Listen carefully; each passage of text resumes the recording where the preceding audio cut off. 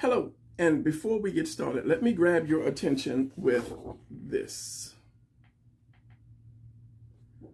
Okay, this is who I am, first of all. Not an animal soldier, but I am an artist. My name is Brian Proctor. I am an artist, okay? Comic books, children's books, I do it all. So I consider myself an artist. Now, before we go any further, if I should start stumbling and falling and so forth, that's because this is not a prepared video. My friend Edgar asked me to do an introductory for you guys to let you know why I like to draw, a little bit about myself and why I like to draw. Well, let me start out by saying in when I was really young, I was not the type of kid that likes to go out and run with a lot of people. I enjoyed staying in, being by myself and being a loner, shall we say. My mind was always running. It was always running. It was always putting me in situations. I like to think about going to other planets and and you know walking in the bottom of the ocean. I, I love science fiction. That's just me. So as I grew, I realized that I could draw just a little bit, just a little bit. So I would always stay home and I would draw little things. And then along the way, I discovered comic books because back in the day, we didn't have video games. We didn't have YouTube because, you know, I'm old. You know, only thing we had was we sit around throw rocks at dinosaurs because yeah, that's just how it was. So I I started drawing and back where I was at, back in the day, there was no comic book stores. There were no people to teach you to to do comics, to, to draw. So I had to learn myself. So I just looked at everything that I could and I started to try to draw it. And it was always wrong. It was always wrong. And then I realized one thing. Everything is a shape. If you look behind me, you see a bunch of squares and rectangles. You know, so drawing is just putting shapes and stuff together. So I had to study and I studied and I studied. And um, because I like comic books, and back back then comic books were like 15 cents. So I told you I'm, I'm old. So I studied the anatomy. I had to get the anatomy right before you could do anything else. Hopefully the light will catch this. I'm going to make this really short and sweet. So I studied the anatomy as best I could. I kept going. I kept going. I started looking at magazines of uh, people um, modeling swimwear and just, you know, women uh, modeling just underwear, just everything just to get the anatomy. And then once I got it, I started doing action pose positions because you have to do that kind of thing if you want to draw your characters in action poses. And the reason I love comics is because there's always a story to go with it. I like I said, I'm I'm I'm a writer. I was a writer when I was young in my head. So once I got older and understood how to put a story together, I started doing my characters from back in the day and started bringing them to life. Like this is one of my comic books and it's Trials, Trials of the Samurai Clown. And this is the Samurai Clown. This is the star of that book, Samurai Clown.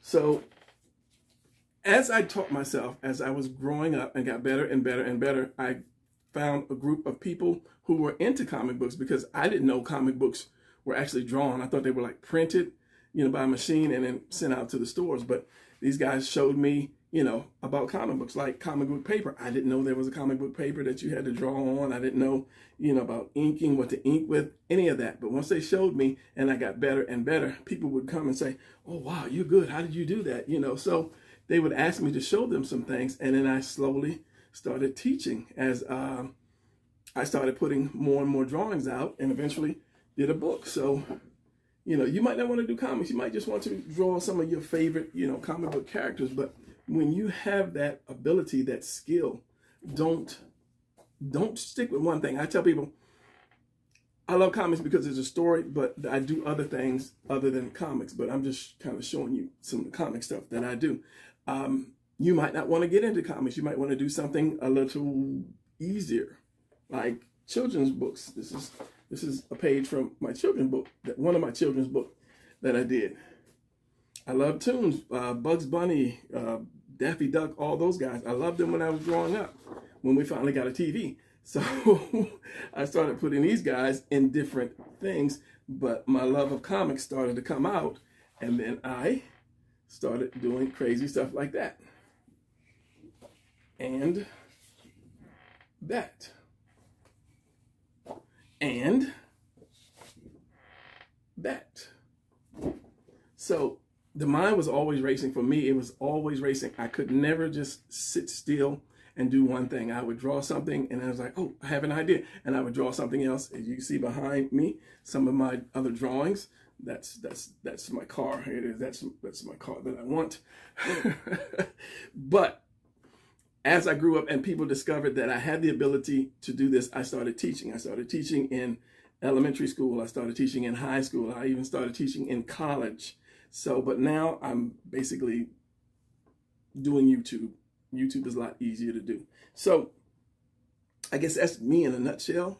I just, I just, I guess one of the questions would be why, why do I enjoy drawing? And I could say, well, why does someone like singing? Why does somebody walk around the house singing all the time? Because that song is in them. Those songs are in them. For me, that fire is in me to draw, to create, to show people, you know, to tell people my stories. That's probably why I enjoy doing comics. I do children's books or just showing other people how to do that because that fire might be inside of you and you might have that story to tell and you might want to be able to draw. So, uh, Edgar had we have been talking for a while and he has his own comic books and hopefully he won't get upset when I show you some of his characters. These are my drawings, but these are some of his characters that he wants me to bring to life.